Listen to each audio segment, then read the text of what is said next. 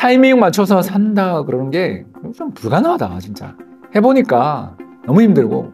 근데 그걸 어떻게 운용을 시스템화할까 해서 만든 게 이거고요. 그냥 눈딱 감고 하세요. 하다 보면 3년 지나고 나면 어 언제 이렇게 수익이 났지? 기대 수익률 20%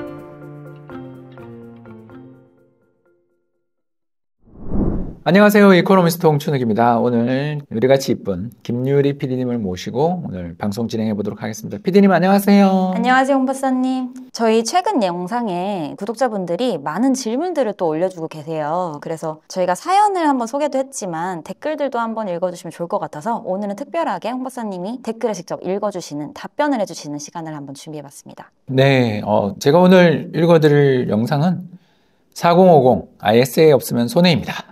라는 동영상인데 어우 댓글이 42개나 달렸네요. 자 한번 해보도록 하겠습니다. 만두 냠냠냠 어, 저도 먹고 싶네요. 아, 오늘도 좋은 영상 감사합니다. 아유, 저도 감사합니다. 예, 아 좋은 insight 얻어갑니다 라고 주셨는데 이게 되게 어렵네요. 무슨 스튜디오님이신데 반갑습니다. 그 다음에 항상 도움되는 내용 감사합니다 라는 댓글이 막 계속 달리고 있습니다. 어우 너무너무 좋아요. 와 여긴데 스마일 어게인님 이름 저 아이디 너무 좋습니다. 스마일 어게님, thank you 홍 박사님, 저는 여기 리츠도 그렇죠. 우리나라에 있는 상장되어 있는 리츠는 조금 그럴 때가 있지만 해외에 상장되어 있는 리츠들, 뭐 VNQ나 SCHH 같은 것들을 넣으면 이게 또 인컴 게인, 그러니까 뭐냐면 배당 소득이 일종의 현금 흐름을 만들어주는 효과가 있기 때문에 또 괜찮습니다. 그래서 ISA 계좌에서는 당장 못하지만 다른 계좌에서 하면 되죠, 뭐 그죠? 예, 아 멋지십니다. 그 다음에 쇼티스트님 아, 이름이 너무 무서운데요. 투자와 운영의 공통점 적은 것으로 영어 연습하기 맞습니다. 건강과 돈을 잃지 않기 간단하게 하기 아 명언이신데요. 감사합니다, 감사합니다. 그 다음 투자생각님 어, 사분법으로 투자할 때 위상품은 어, 느 회사로 아 이거요. 이거 굉장히 좋은 질문인데요. 지금 제가 설명드리자면 일단 금 현물은 수수료가 좀 있습니다. 1% 정도 드는 걸로 알고 있고요. 그래서 이걸 대체하기 위해서 에이스 KRX 금현물 ETF라고 나왔습니다. 그래서 그걸로 대체하시면 되겠습니다. 그리고 이제 이거 이외에 사분법으로 투자를 하실 때 다른 상품 어떤 거 투자해야 되냐라고 물으시는데 이게 요새 경쟁이 되게 치열해가지고요. 수수료가 적고 어, 그리고 거래량이 많은 걸 택하시면 좋습니다. 그러니까 하루 거래량 몇백 주 이러면 사고 팔 수가 없거든요. 근데 하루 거래량이 몇만 주. 아, 이러면 사실 우리 개미들 입장에서는 거의 거래 걱정이 없지 않습니까? 그래서 거래량 많고 수수료가 좀 저렴한 그러니까 거래량이 비슷하면 수수료가 얼마나 적은지 그런 거 정도만 점검하시면 충분히 될 것 같습니다. 아우 너무 멋진 것 같습니다. 현재 시점에서 어, 예 그렇죠 수영님님 맞습니다. 현재 시점에서 코스닥 빼고 다 너무 고점인데 들어가도 될까요? 아니면 좀 더 지켜보는 게 좋을까요? 이게 제가 답을 못 드리는 거죠. 왜냐 제가 2018년 왜 증권사 그만뒀는지 제가 방송 한번 찍었잖아요. 예, 트럼프가 아침마다 트윗 요새 이제 X죠. 거기 글 올려주는데 아, 바빠 죽겠더라고요. 새벽마다 이 사람이 막 3개씩 4개씩 무슨 대통령이 할 일도 없나. 그거 맞춤 법도 다 틀려. 나보다 영어 못하는 것 같아. 아니 그렇게 뭐 되게 자기 있는 척 하는데 그 글을 보면 되게 저렴해요. 그러다가 이제 좀 지나면 수정하더라고요. 네, 그걸 보고서 야, 이 사람이 있는 동안에 나는 기존에 내가 가지고 있었던 경제 모델이 이제 잘 적용되지 않겠구나. 저는 이런 생각을 좀 했어요. 네, 그러면서 이제 증권사를 그만두고 나서 잘 놀다가 3년 전에 와, 난 정말 내가 하고 있는 자산 배분 전략 이건 이렇게 좋고 쉬운데 이걸 내가 혼자 하려니까 귀찮아 죽겠는 거예요. 왜냐하면 리밸런싱을 해야 되니까. 그래서 아 이거 도대체 좀 좋은데 없나 하다가 제가 몇 군데 투자를 했어요, 사실은. 근데 아 제가 가지고 있는 제가 직접 운영하고 있는 계좌보다 못해. 어디라고 이야기는 안 합니다. 아 그래가지고 몇 군데 펀드도 가입하고 뭐 여러 가지 했는데 그래요. 그때 느꼈죠. 에이 내가 하자. 그게 저 창업, 창업한 이유예요. 그래서 이제 이렇게 고생하고 있죠. 2021년 9월 창업하게 됐던 이유가 뭐냐고요?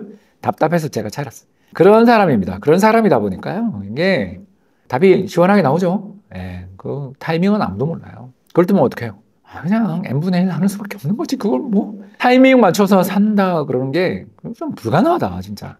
해보니까 너무 힘들고 그래서 저도 너무 힘들어서 왜? 저도 막 망할 끼잖아요. 제가 직접 개인적으로 운영하려니까.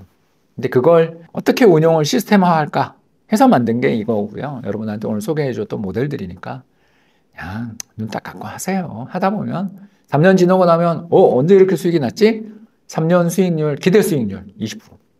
와 너무 멋지죠. 프리즘에 맡기면 뭐 비슷한 수익의 수수료일 때니까 여러분이 직접 하셔도 돼요. 이제 저희들의 장점은 뭐 아시는 것처럼 편하다.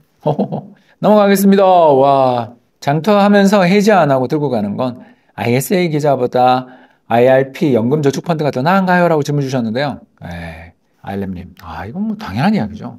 왜냐하면 중도 해지 리스크 때문에 ISA를 추천하는 거지.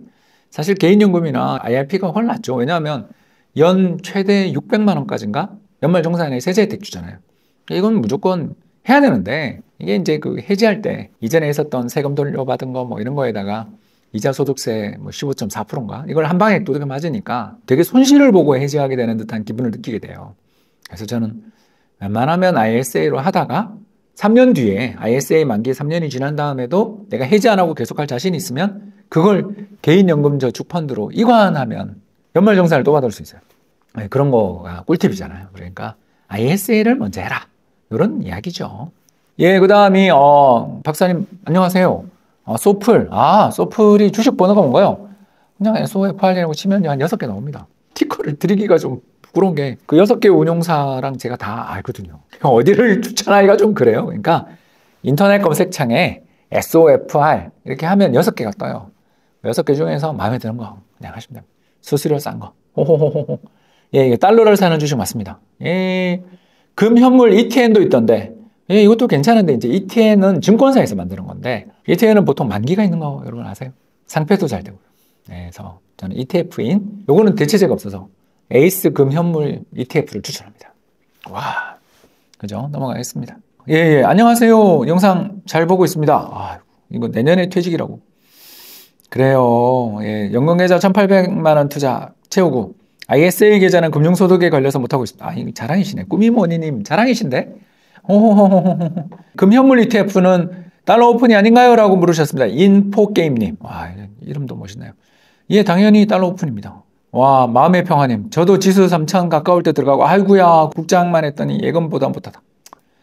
음, 마음이 아픕니다. 예, 그렇죠. 예. 예, 삶을 목적은 삶. 안녕하세요. 처음 주식 투자하는 40대 중반 주부입니다. 월 150씩, 와, 적립식 투자 20년. 와, 해외 S&P 500에 장투하기로 마음먹고 있는데요. 예, 이런 책들이 요새 많이 나오고 있죠. 이럴 때도 ISA로 하는 게 낫나요? 아니면 직투가 낫나요? 예, ISA가 낫습니다. 왜 그러냐고요? 예, 세금이 덜 붙어요.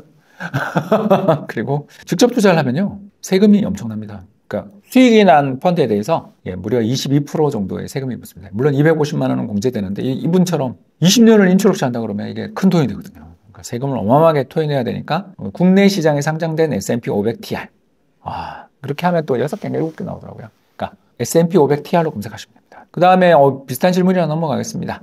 어, 달러랑 금, S&P 모두 그 고점인데 고점인지를 우리가 모른다니까요.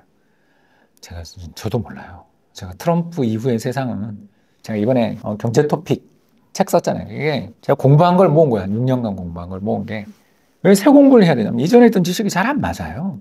그러니까 그만큼 어려운 게 아닌가 생각합니다. 금 ETF는 수수료가 높은 편 아닌가요? 라고 물으셨는데요. 예. 금현물이 더 좋은 거라고 알고 있어요. 라고 하는데 반대로 알고 계십니다. 금현물은요, 세공비까지 해서 보통 한 20% 정도 비용이 붙는 데 비해서 금 ETF는 연 0.1%? 굉장히 좋습니다. 예, 향기나무님, 반갑습니다. 미국채 10년 선물 대신에 SOFR로 아, 변경하는 게 나을까요? 라고 물으셨는데요. 그러니까 시장 금리가 오르고 그럴 때는 SOFR이 나고요. 시장 금리가 빠질 때는 미국채 10년 선물이 낫습니다. 이건 자기 마음. 그래서 요즘 마치 솔직히 미국 국채 전망이 되게 어렵잖아요. 저는 한국 국채는 그래도 좀 제한적이지만 매력 있다고 보지만 미국 국채에 대해서는 요새 잘 추천 안 하잖아요. 그래서 요새는 SOFR 이야기를 많이 하는 게 저도 자신 없다. 미국 금리가 오를지 내릴지.